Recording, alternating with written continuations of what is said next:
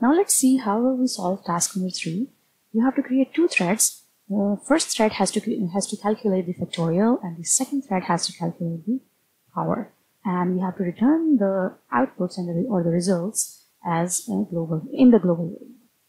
Okay, so let's see how we solve it. I won't write the complete code for you, but uh, I will pretty much make a main structure so that you can solve it easily.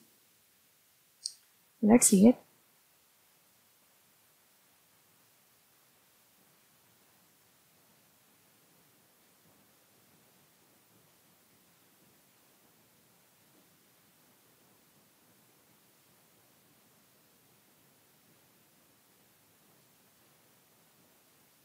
Add all the necessary libraries yourself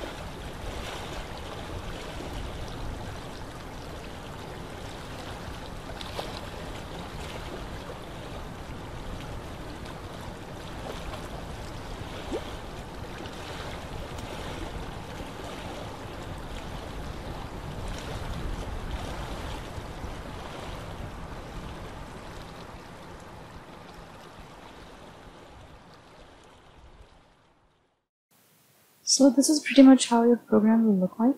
Add the other necessary libraries here too. And I think it's really easy. You just have to write code for factorial and for power and, and make sure to save it in the global variable at the end. It's really simple. I think you can do it.